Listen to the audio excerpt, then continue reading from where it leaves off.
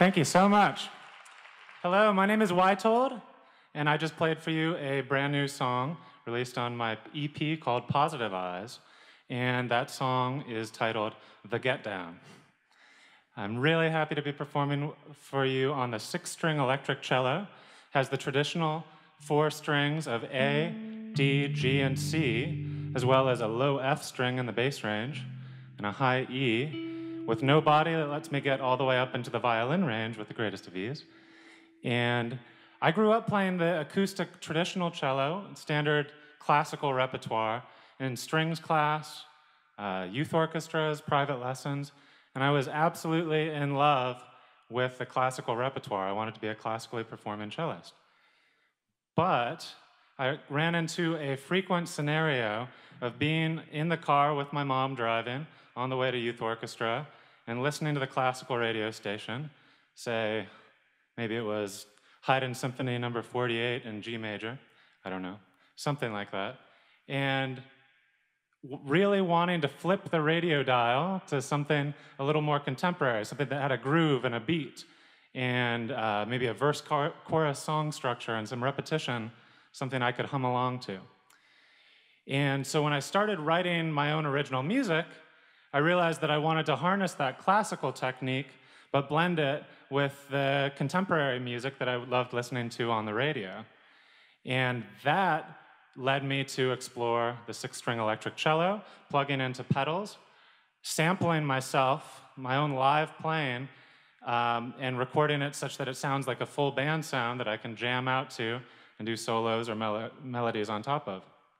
And the thought that I was sampling myself struck me as very similar to what DJs and hip hop artists do all the time with other records that they like listening to. They sample the record of the, the other artist, I'm sampling myself. I thought, what would it sound like if I did a classical or classically inspired version of a hip hop song?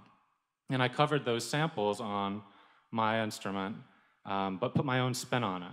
Or if I even blended it with a favorite classical melody. And so that started the project Biggie, Beethoven, Busta, and Bach. I just la launched a Kickstarter video earlier today for that original album concept where I take instrumental covers of rap songs blend them with remixes of classical pieces. So here's a little taste of how that might work for the, uh, the song Eminem's Lose Yourself, blended with Tchaikovsky's 1812 Overture, just a little snippet.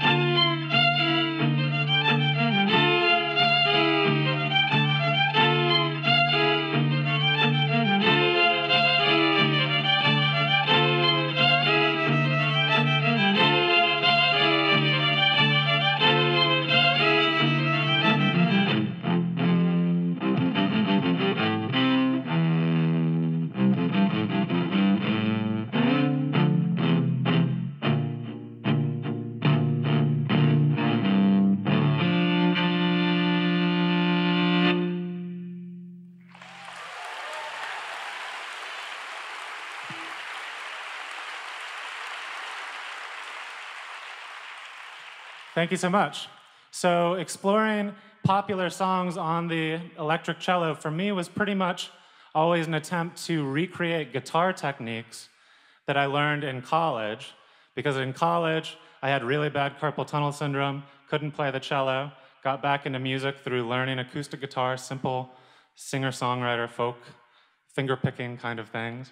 But I realized I was much better at playing the cello and wanted to explore how can I recreate that finger picking, that chord progression, the strumming, and the improvisation. And I think I've done a little bit of that, but maybe not, you know, there's plenty of room to grow in that area. But luckily enough, I have an incredibly talented uh, guitarist friend joining me today, Jerry Tolk on electric guitar. He has background in jazz and funk. Round of applause for Jerry. And we're going to do a new original piece that's also on that EP I mentioned. This one's called Gemini.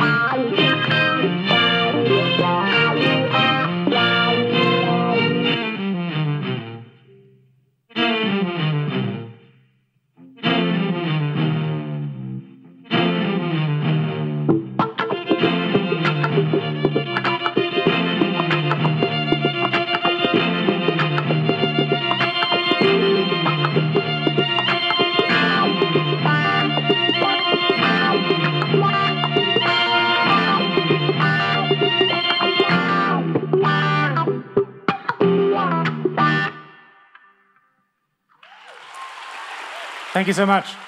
Jerry Tolk.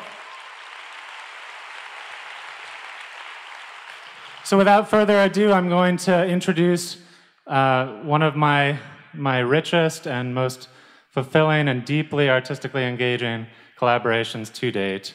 Uh, my work with Christopher K. Morgan and artists. They are an incredible contemporary dance company based out of Rockville at American Dance Institute. Tonight we're going to perform a few excerpts from the evening length piece, Limited Visibility, which we will be premiering the live electric cello musical score for in the end of May. So here is Christopher K. Morgan, an artist.